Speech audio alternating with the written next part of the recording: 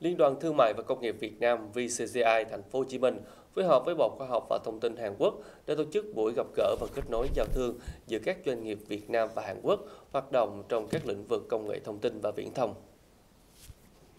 Hơn 100 doanh nghiệp Việt Nam và 29 công ty Hàn Quốc đã tham dự sự kiện kết nối, tìm hiểu nhiều ứng dụng thực tiễn phục vụ cho công tác chuyển đổi số trong lĩnh vực nông nghiệp, y tế, thủy lợi, xây dựng, giáo dục, đồng thời thực hiện nhiều văn bản thỏa thuận hợp tác, hứa hẹn thúc đẩy cơ hội giao thương, đầu tư giữa hai nước trong thời gian tới.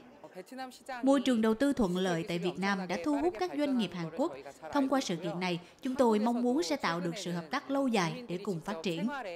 Hiện nay, ngành công nghiệp IT đang đóng vai trò đầu tàu dẫn dắt sự tăng trưởng của nền kinh tế Hàn Quốc, chiếm hơn 40% và đóng góp 35% tổng kim ngạch xuất khẩu. Với xu hướng số hóa toàn cầu cũng như việc đẩy mạnh việc đầu tư vào Việt Nam của các doanh nghiệp Hàn Quốc, lĩnh vực công nghệ thông tin và viễn thông được xác định là thị trường còn nhiều lợi thế để khai thác.